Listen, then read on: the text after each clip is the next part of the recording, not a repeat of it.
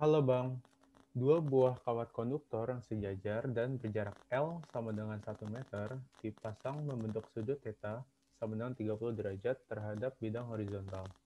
Ujung bawah kedua kawat ter terhubung dengan sebuah resistor R sama dengan 3 ohm. Sebuah batang konduktor dengan massa M bergeser turun di sepanjang rel, tanpa kehilangan kontak dengan rel sehingga rel dan batang membentuk satu rangkaian tertutup.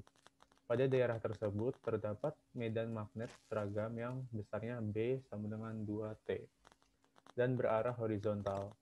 Jika batang turun dengan laju konstan V sama dengan 3 meter per second, massa batang M adalah Nah, batang konduktor sepanjang L yang bergerak dengan kecepatan V dalam medan magnet B akan menimbulkan gegel induksi seperti gegel induksi kan berarti sama dengan BLV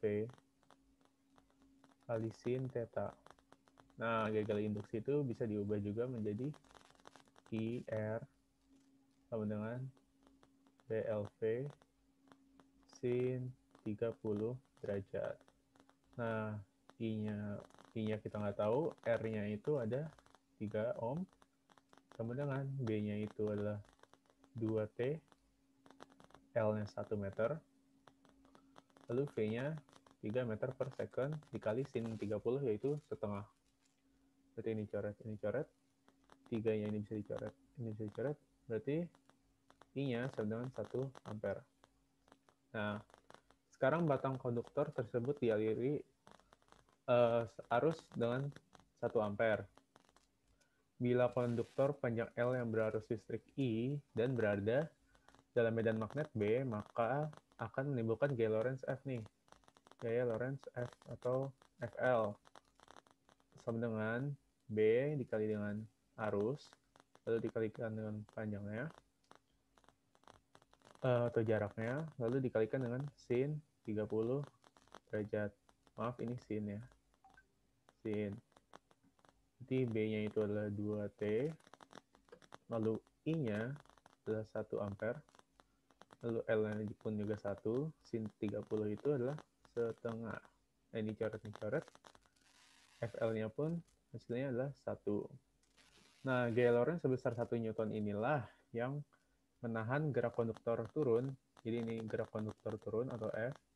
Nah, yang menahan itu adalah si FL-nya itu, gerak apa gaya Lorentz tersebut. Sehingga konduktor bergerak dengan kecepatan konstan. Nah, F F-nya ini kan adalah gerakan gerak gerak konduktor turun dengan sudut kemiringan 30 derajat ya kan. Dan sudut kemiringan 30 derajat. Maka gayanya itu adalah F turunnya itu, F konduktor turunnya sama dengan M dikali G dikali sin 30 sesuai sudutnya. Nah, masanya kita nggak tahu, lalu G-nya itu adalah 10, percepatan gravitasinya, lalu sin 30 itu adalah setengah. Berarti F gerak konduktor turunnya itu adalah 5M.